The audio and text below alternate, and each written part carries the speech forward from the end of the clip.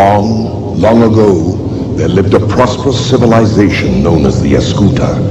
Its citizens lived in luxury, intoxicated with an arrogant ambition to conquer the world. They consumed vast quantities of the Earth's resources, polluting the water and giving nothing back to the land. Finally, overcome by the excesses of their culture and the poisoning of their environment, they sank to the bottom of the sea. A sea so contaminated that not even a single microbe could exist in its waters. Thousands of years have passed since the great cataclysm brought on the destruction of the Escuta, but the wicked ambition of the people has survived in the foul waters of its undersea graveyard.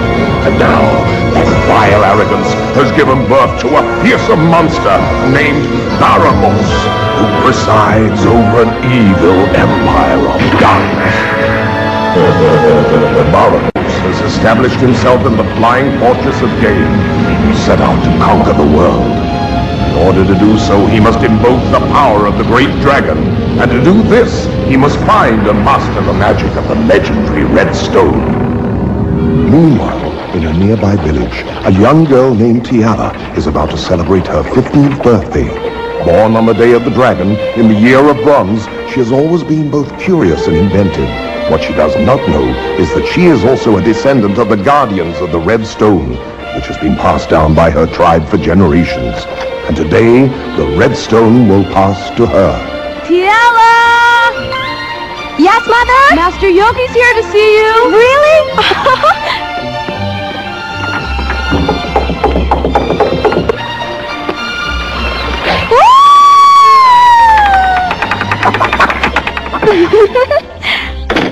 Well, happy birthday, Tiala. Good morning, and thank you, Master Yogi. I got up very early so I could come give you my present. Thank you for remembering, Master Yogi. What did you bring me? You'll just have to look in the basket. Yeah? Oh, thank you, Master Yogi. Tiala. Yala! How beautiful. What do you think? Doesn't it look beautiful on me?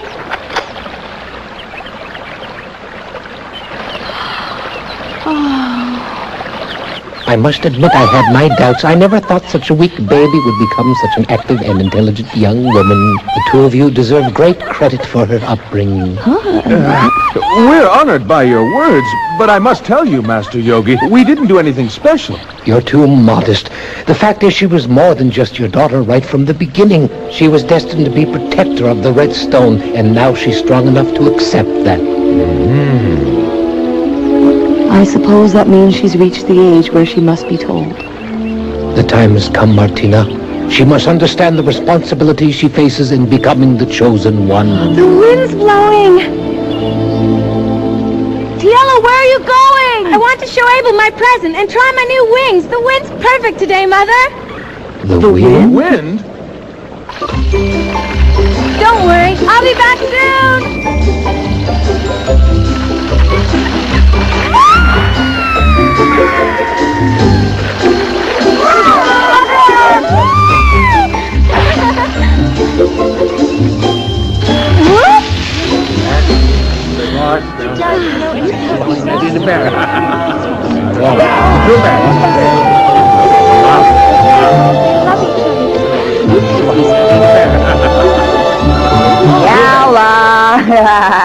if you were marrying me, I'd buy you a much prettier wedding dress than that. Don't save your money, Moko, because I'm not marrying you.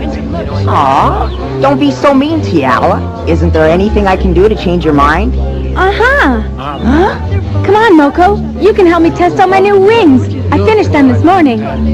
Gee, thanks for the invitation, but I'm still trying to recover from the last time I went. Uh, see you later. Wait, Moko, I made a lot of improvements this time. Tiala, where did you get that sash and necklace you're wearing? These? They're my birthday presents from Master Yogi. I'm 15 today. You're sure about that? It was a long time ago. You were born in the year of bronze. Oh, my heavens! Uh, wait! Stop! Everyone go home! Uh, we have to postpone the wedding. We can't do it today.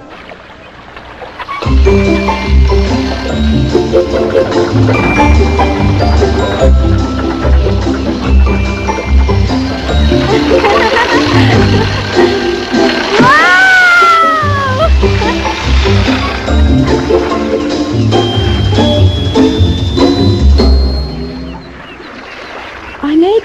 Abel.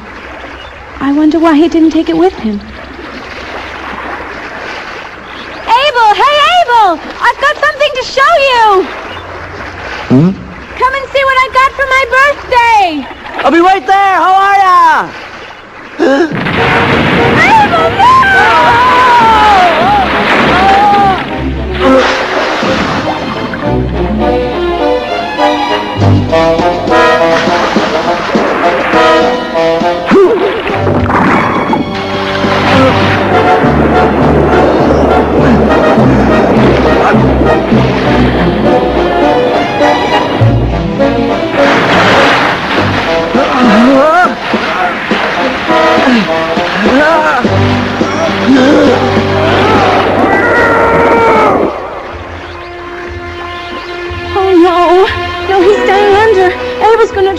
What can I do?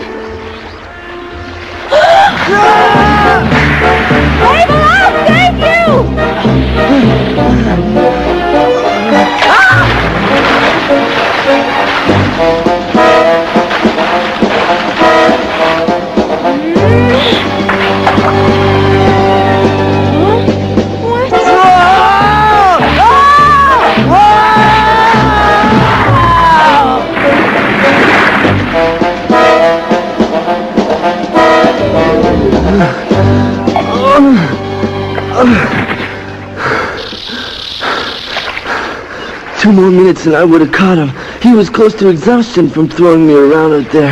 Oh, really? How'd you get down here anyway? Your bike? Mm-hmm. And look, I brought my latest set of wings with me. You mean you want to fly? Of course. It's my 50th birthday, and the wind direction today is perfect. Much better than the last time I tried. Yeah, I was the guinea pig. Oh. I have a new design. See?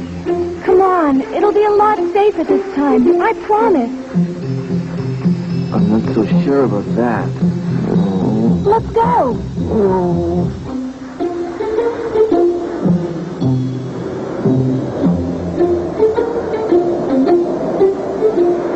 Everything looks good so far.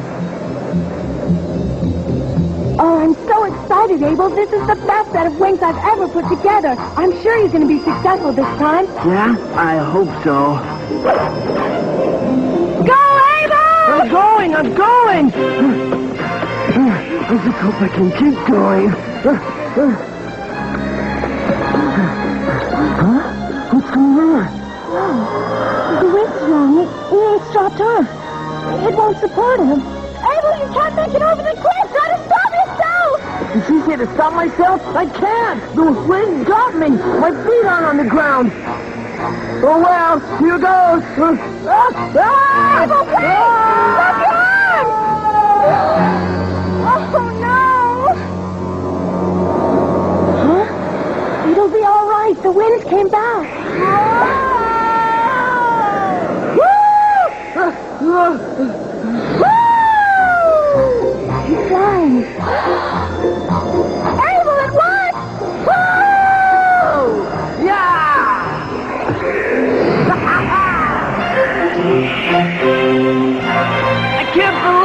Feel just like a bird!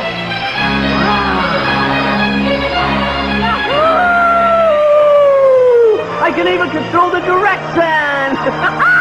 What are you doing, Abel? the village sure looks small from up there. You were 500 feet in the air. Don't you realize you're the only human being who's ever been able to fly? Be sure to keep your head up. You better watch out! What? Watch your front! Oh,